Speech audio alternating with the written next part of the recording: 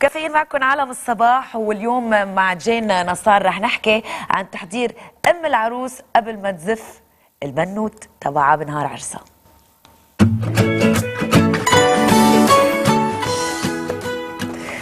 bonjour ك. bonjour. كيفك اليوم؟ أكيد مش منيحة. ما نعم. حدا بلبنان منيح ولا بيقبل باللي عم بيصير.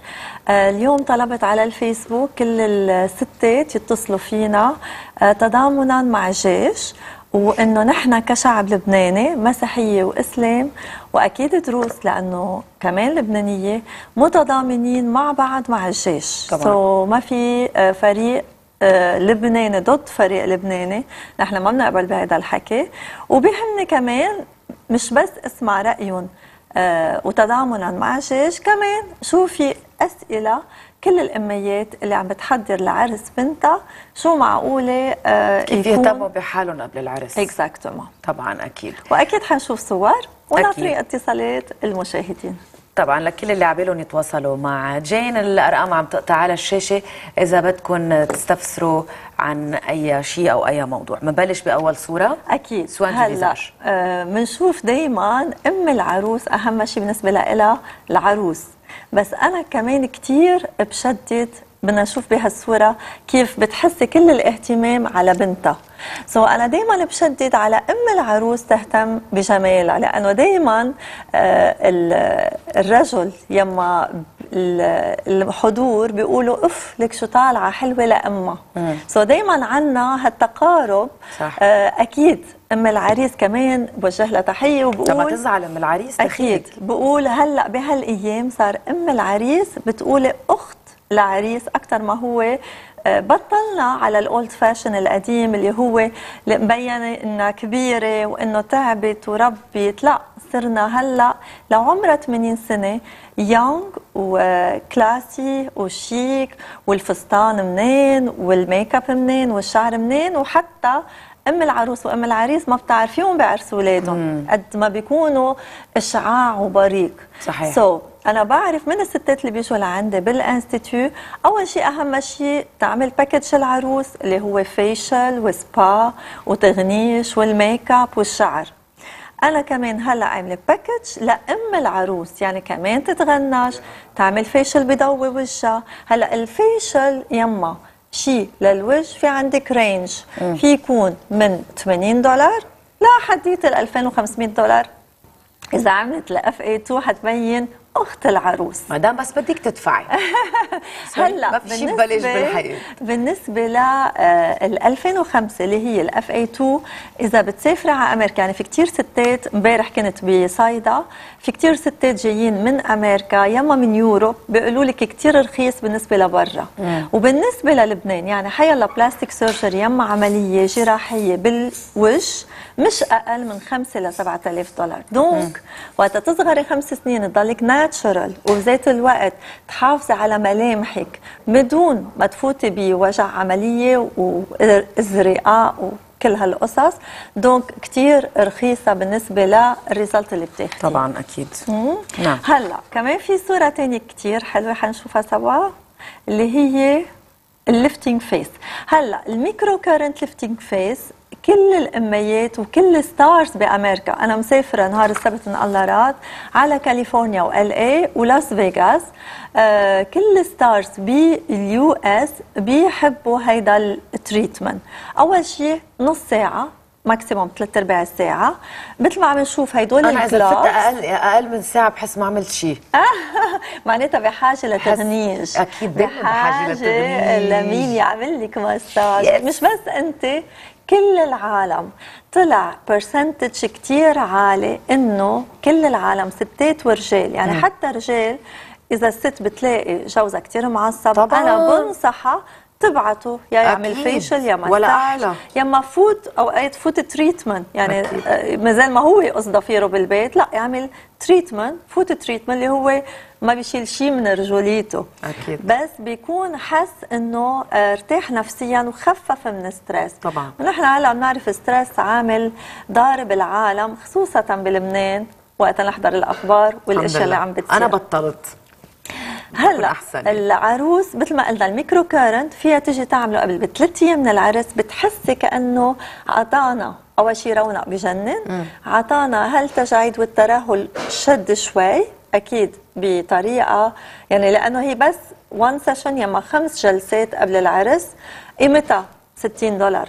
معناتها affordable للكل لأنه أم العروس بتقول لك عندي budget هلأ العرس ما بالي بهيك أشياء. donc في لكل لكل أم budget بس please ما بدي أسمع ولا ست قالت لي ما بدي أهتم بحالي أهم شيء بنتي.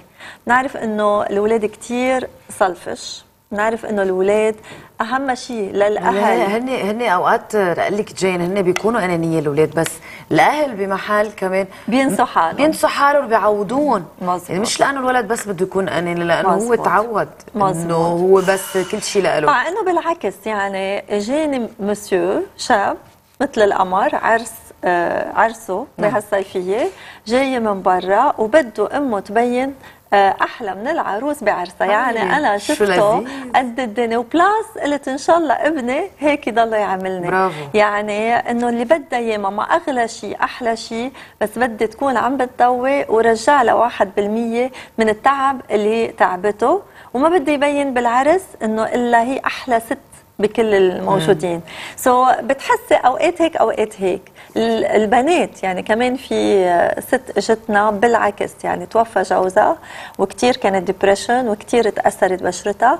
شوي اولادها من بعد سنة حبوا يطلعوها من ال mood ويفسروا لها انه نحن موجودين. يعني بدك تعيشي كرمالنا مش بس لأنه توفى بابا خلصت حياتك. جابوها لعنا وكمان غيرنا لها mood وطلعت كتير مبسوطة. أكيد كل الشهداء اللي توفوا. في عندي صاحبتي ليا عقوري أه بقدم لها تحية. كمان جوزها توفى بالنهر البارد.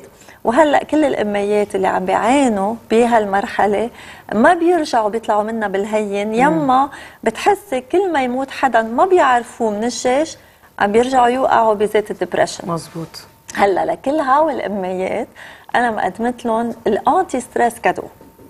so عندي أنا شيء اسمه- gift. إيه عندي صاحبتي كمان تانية آه توفى جوزها كمان من نهر البارد وكتير تأثرت مش بس كتير تأثرت يعني الله لا يجرب يدوق حدا هذا. الشيء. للأسف نحن بعائلاتنا وبمجتمعنا اللبناني اللي عشنا 30 سنة حرب ما في حدا ما مثله حدا مني وجر صحيح. كل العالم وإن شاء الله يتعلموا هالرؤساء اللبنانية إنه ما بدنا نرجع نفوت بالحرب ما بيسمعوا لأنه مش بس بتكوني قتلتي هالأم قتلتي هالامرأة اللي ماتت فيكي وبذات الوقت تأثروا الأولاد طبعا so بقدم لهم anti-stress اللي هي بتساعدهم يمرقوا هالمرحلة آه، يقدروا يوقفوا على إجريهم كرمال أولادهم كرمال آه، حالهم. المجتمع حالهم بتحسي بقى إذا ما. حبيتي حالك وما وقفتي كرمال حالك ما رح. تقدري يعني مية بالمية. قد إيه بضلك بس تعطي بشي بتروح. الإنرجي أكيد كمان حنشوف صورة سوا